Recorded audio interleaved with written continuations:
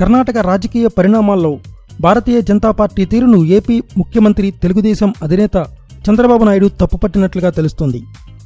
బుధవారం జరిగిన కేబినెట్ మీటింగ్లో చంద్రబాబు కర్ణాటక పరిణామాలపై స్పందించినట్లుగా సమాచారం. ఒకవైపు టీవీల్లో కర్ణాటక రాజకీయ పరిణామాలపై వార్తలు వస్తుండగా వాటి విషయంలో బాబు స్పందిస్తూ కమలం పార్టీ తీరు ప్రజాస్వామ్యయుతంగా లేదని వ్యాఖ్యానించినట్లుగా సమాచారం. అలాగే ఈ సమయంలో కాంగ్రెస్ జేడీఎస్లు పోరుబాట పట్టాల్సిందని బాబు వ్యాఖ్యానించారని తెలుస్తుంది.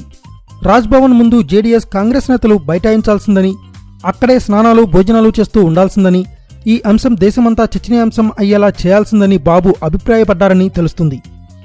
కర్ణాటకలో గవర్నర్ కాంగ్రెస్ జేడీఎస్లని ప్రభుత్వ ఏర్పాటుకు ఆహ్వానించాల్సిందని చంద్రబాబు వ్యాఖ్యానించారని గవర్నర్ వ్యవస్థకు వ్యతిరేకంగా తాము గతంలో కూడా పోరాడామని గుర్తు చేశామని సమాచారం.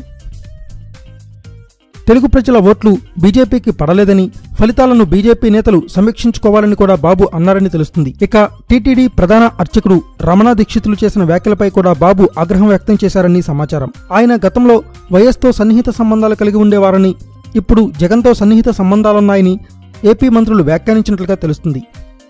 గోదావరి నదిలో పడవ ప్రమాదంపై స్పందిస్తూ ప్రజల ప్రాణాలకు విలువ ఇవ్వాలని అప్రమత్తంగా ఉండాల్సిందని చంద్రబాబు అభిప్రాయపడినట్లుగా సమాచారం.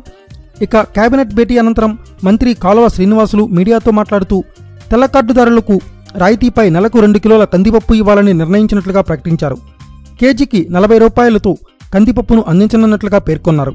అలాగే పట్టణాలు నగరాల్లో అభివృద్ధి పనులకు పన్నెండు వేల ఆరు వందల కోట్ల రూపాయల మంజూరుకు సంబంధించి పాలనాపరమైన అనుమతులకు ఆమోదం తెలిపినట్లుగా తెలుస్తుంది.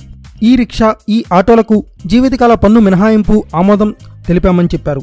అమరావతి పరిధిలో ఆరు పాయింట్ ఎనిమిది నాలుగు చదరపు కిలోమీటర్ల పరిధిలో స్టార్టప్ ఏరియా అభివృద్ధికి అమరావతి అభివృద్ధికి సంస్థకు సిఆర్డీఏ ద్వారా పవర్ ఆఫ్ అటార్నీ ఇచ్చేందుకు అనుమతిని ఇచ్చామన్నారు.